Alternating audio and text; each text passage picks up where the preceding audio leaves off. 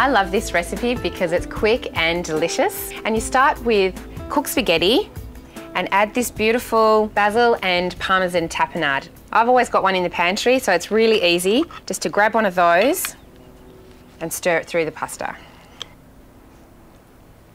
I'm just going to reserve a little bit so I can finish the dish with some extra tapenade. Coat the spaghetti really well because it comes up shiny and it smells delicious. I'm just going to coat it with a little bit of extra olive oil and then stir through my fresh rocket. About 100 grams.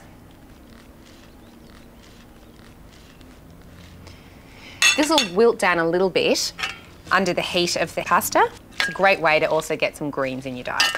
Then finish with some Parmesan cheese. This has just been shaved.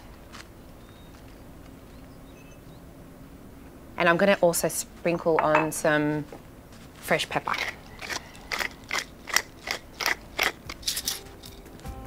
And that's pretty much it. Beautiful and so quick, it looks amazing.